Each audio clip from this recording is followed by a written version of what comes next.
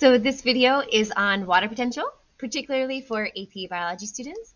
And so when we talk about water potential, the symbol that we use is this trident looking shape and it's pronounced psi.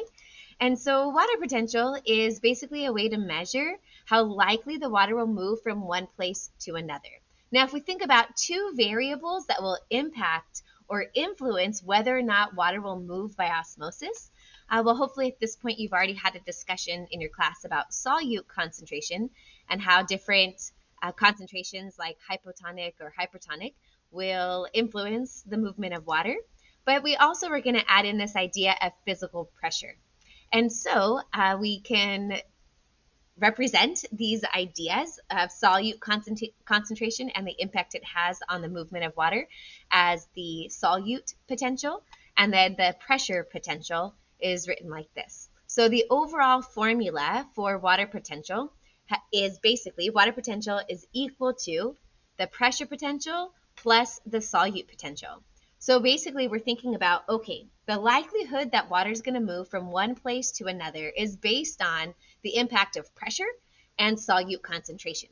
So let's go ahead and talk first about pressure. And so here I have a picture of a person like squeezing a water balloon. I want you to think about the water within that balloon. There, there's pressure pressing on that balloon. So the more you squeeze it, the more pressure there is.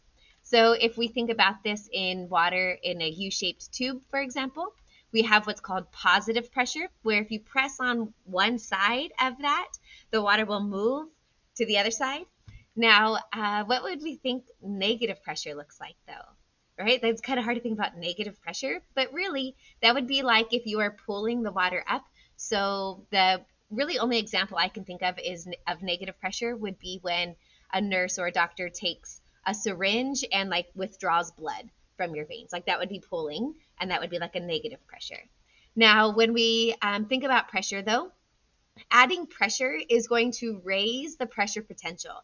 And so if we think about what that means. When you add pressure, water is more likely to move, and therefore this is a positive value. It's going to increase the likelihood that water is moving, so therefore it's raising the overall water potential, the overall likelihood that water is going to move from one place to the next.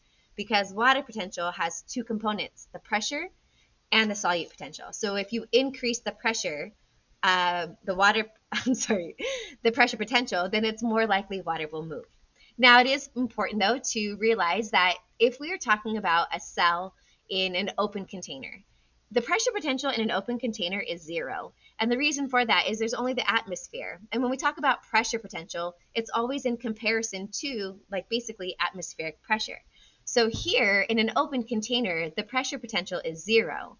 So really, if we're going to talk about um, water moving across the cell membrane in a beaker, for example, pressure is not really part of the equation anymore. So we would really only deal with solute potential. And therefore, it'll be solutes that determine the likelihood of how water moves across a membrane by osmosis. So let's go ahead then and talk a bit about solute potential. So in an open container, the water potential would be equal to the solute potential. And so the solute potential is um, basically how solutes influence the movement of water. So when we look at uh, this, solute is basically just a fancy word for anything that is dissolved in water.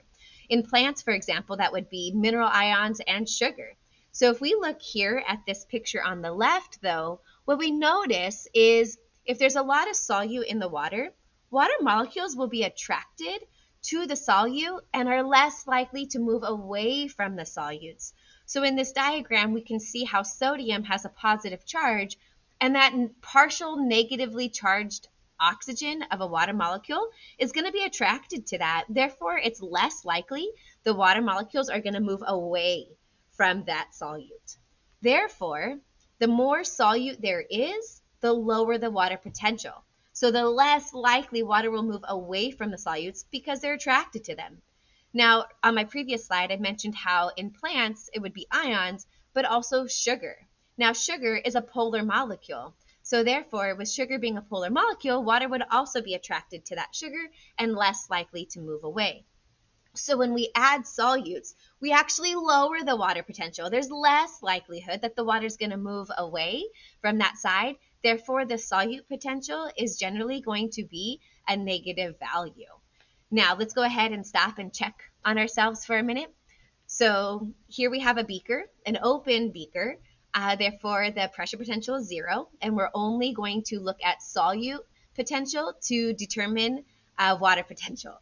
So it's important to remember that, or to see that water, free water, moves from regions of higher water potential to regions of lower water potential if there's no barrier to flow. So we can think about this in terms of back with osmosis, water moves from a high concentration to a low concentration. So let's think about if we put a cell into this beaker. Now, will the water move into or out of the cell here? Now, I tried to make it where the solution surrounding the cell appeared to be hypertonic.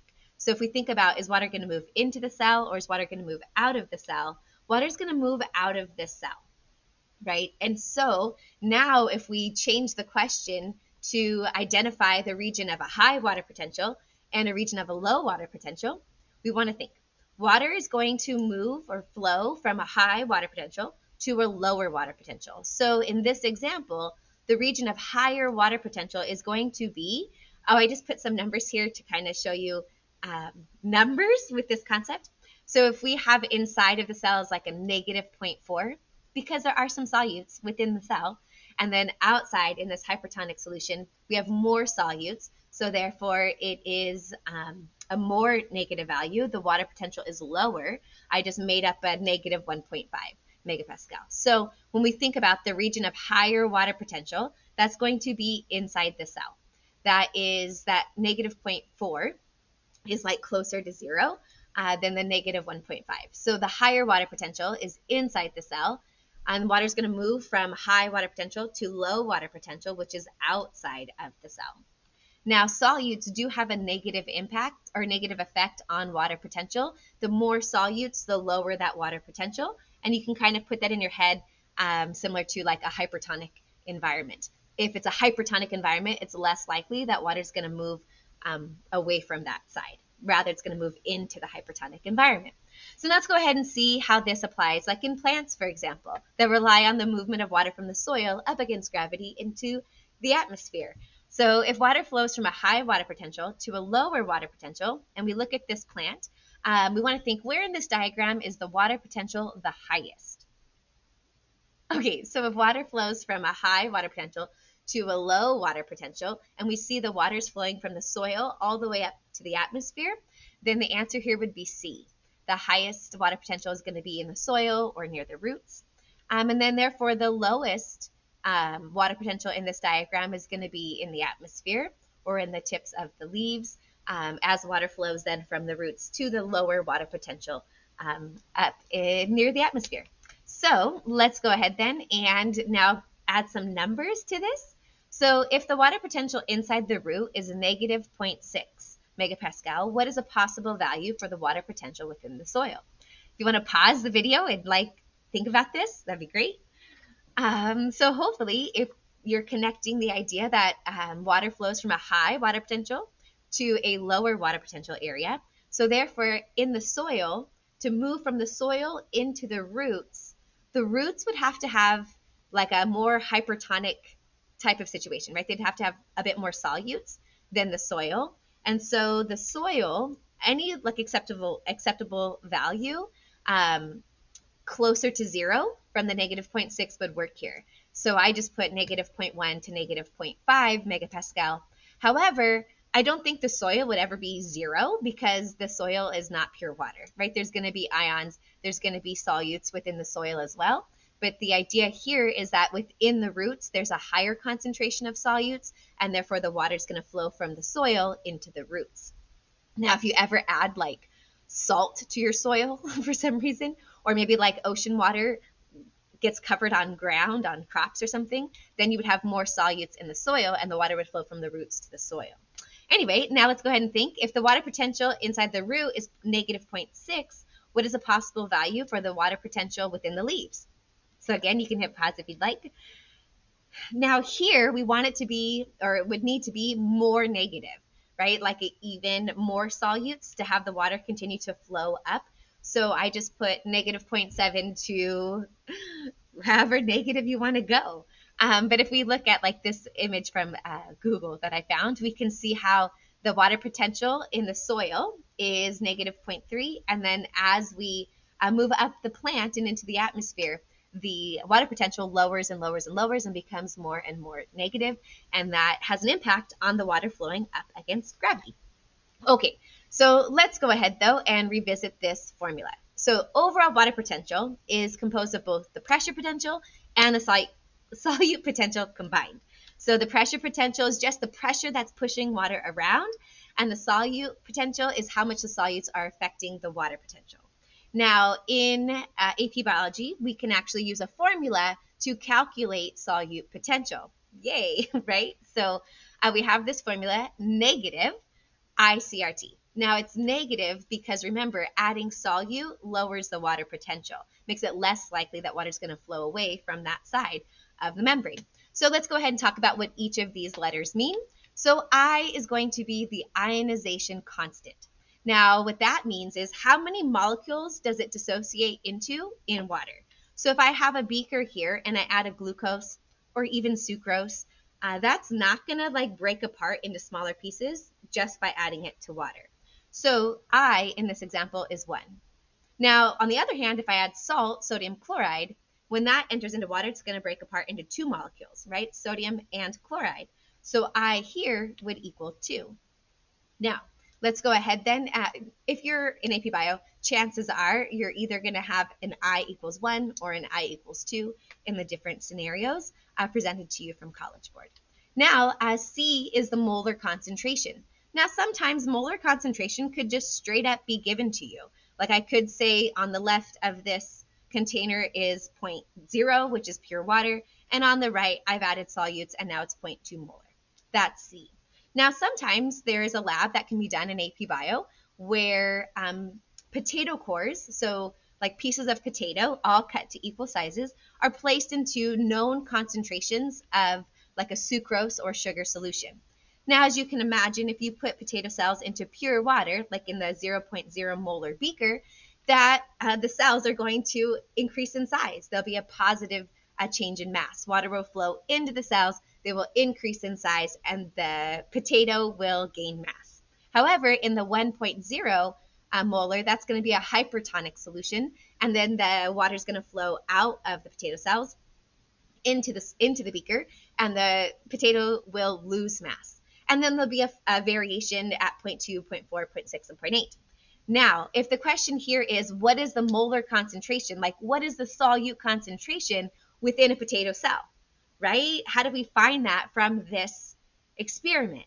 Well, you would graph it. And so you could calculate the percent change in mass at each molarity of sucrose solution, and then you graph it. And in the zero, uh, like pure water, you're going to have an increase in mass. And then in the 1.0 molar, you're going to have a decrease in mass. And wherever your line crosses zero, that tells you, hey, there was no change in mass. Therefore, the solutes outside the cell and the solutes inside the cell were equal and it is a isotonic solution. So if you follow that down, here we can say, oh, inside the potato cores or inside the potato cells, the molar concentration is 0.35. And so that would be how you would find it from a graph. And then we have two constants, or not, sorry, one constant. We have the pressure constant, which is 0.0831, and then we have temperature in Kelvin. So you would take your 273.15 plus degrees Celsius. Now, if you are in AP Bio, the uh, formula sheet on the AP test will be given to you. So you can pause the screen here and solve this if you'd like. But on the right hand side is a screenshot of exactly what will be given to you from um, College Board. So there is the answer there. And now let's go ahead and uh, round this discussion out so again, to summarize, water potential is both the physical squeezing and water flowing by osmosis. Both of those things are going to impact water potential. Now, with osmosis, that deals with solutes and has a negative um, impact on water potential. It lowers our water potential. However, pressure pressing on a cell or on water will increase its likelihood of moving, which will be a positive value. Now, earlier in an open beaker, I used an animal cell. Let's talk about a plant cell now because plant cells have a cell wall and pressure does come into play. So let's say I put a plant cell into pure water, a hypotonic environment. There are solutes within the plant cell because it has a nucleus, it has organelles, it has ions on the inside in its cytoplasm. So on the outside, are, it's pure water in an open beaker. However, within the cell, there are solutes. So I just made up this solute potential of negative 3. now, initially, water is going to flow in, right? It's in a hypotonic environment. Water will flow in to the cell, but eventually, as the water flows in, especially in that central vacuole, it's going to increase in mass, and then you're going to have the cell wall exerting a pressure on that cell membrane. Whereas in, in animal cells, our cells could possibly burst. We don't have a cell wall exerting pressure. Plants do. So the more solutes inside, because there's more solutes inside the cell, water initially flows in.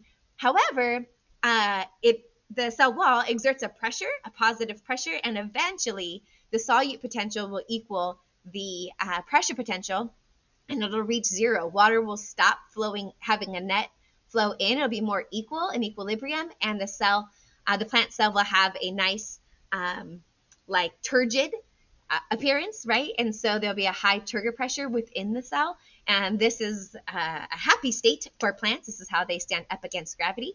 Um, but anyway, so plants do have the impact of a cell wall pressing on their cell membrane. So there is the impact of pressure uh, with determining where water will flow in plant cells. Now let's go ahead. One last example. We're going to talk about a little unicellular organism called a paramecium that uses a contractile vacuole to um, osmoregulate. So if you watch my, I have a video on this if you'd like to know more about paramecium and other unicellular eukaryotic cells. But let, they do live in water um, environments. So here, if we think about this, uh, which area in this diagram has a higher water potential? The intracellular or extracellular region? So a higher water potential is going to be inside of this cell. The negative 1.0 is closer to water. And then we have my next question, which area is hypertonic then? Right? Um, assuming pressure potential is zero.